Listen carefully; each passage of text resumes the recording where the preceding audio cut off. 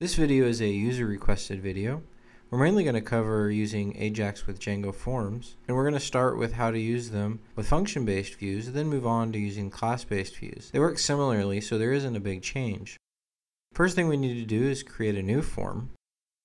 In this project, we want the ability for people to contact us. Simply going to create a contact form which has our three normal fields of email, subject, and body.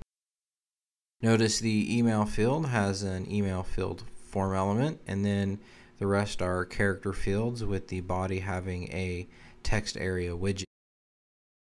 Now that we have our form, we need a place for our form to post to.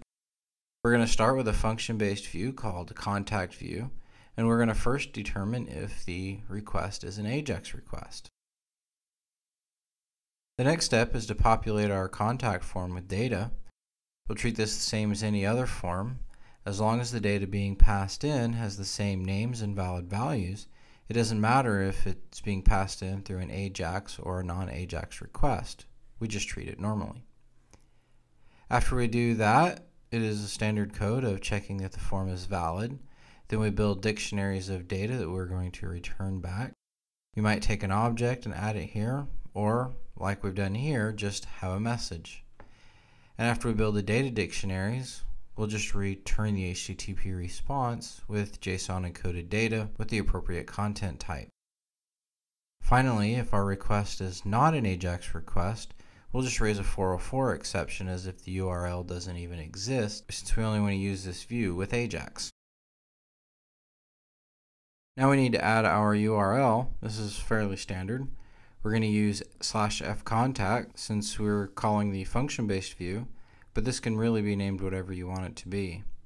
The name of the URL is also going to be fcontact, so we can easily do our reverse lookup in our template. Now it's time to do the JavaScript portion of the AJAX. This is fairly straightforward. The first thing we do is capture the submitting of the contact form and prevent all the default actions from happening. Then we're ready to start filling in the rest for doing our AJAX call.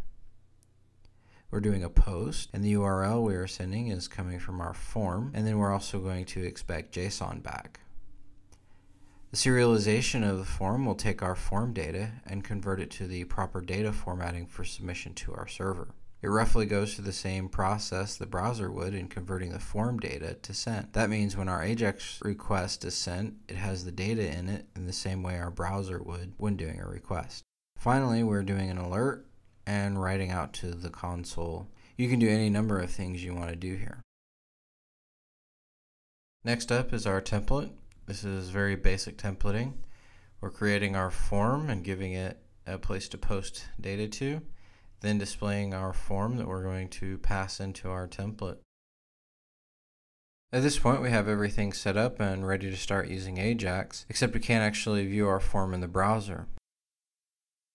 For this and example purposes, I'm going to create a class-based view, which we're going to use later, and we're just going to inherit from a form view, and then we're going to set our template name to the template that we just created and the form class to the contact form we created earlier. And then we're also going to quickly add a URL so that we can access this form and it's going to be under slash contact. Now we're actually ready to go ahead and view this in the browser and give it a shot and see how our Ajax works. I'm going to go to our contact page. We have our form that we have set out. We're going to put an email address in, followed by a subject and the body of it, which is going to be random text. Then we're going to go ahead and hit the submit button and we get our success back. If we open up Firebug, and we do another submit, we'll see we get the post data back and we'll get our response message. And it's really as simple as that.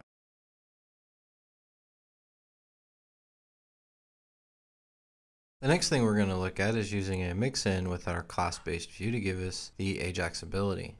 This mixin is the same one that is used in the examples straight out of the Django docs, except I slightly modified the form valid and the form invalid methods to suit my needs which is what you should be doing as well.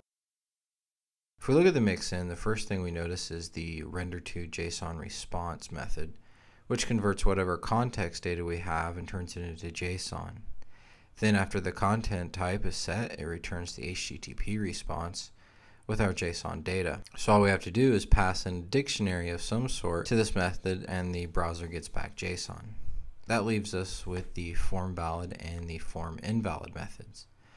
Both pretty much do the same thing in that they check the request as an AJAX call or not, and if so, they return the render to JSON response. Otherwise, they just return a normal response. This lets us do both a, a regular form post from the browser and the AJAX as well. With all that in mind and using this mixin, all we have to really do to start using AJAX requests with our current class-based view is to inherit from the mixin in our contact view.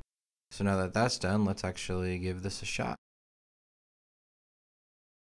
Now we're actually ready to give this Ajaxable mixin a shot. First thing we need to do is change the action of where we're going to post to so we can post to the correct URL. The next thing that we need to do is we need to actually test our contact form. In our Ajaxable mixin, we actually set our return data to be the data that we post in our form. So when we do our submit, the data we get back if we inspect in Firebug is going to be our post data like it is there if you'll compare that to what's above.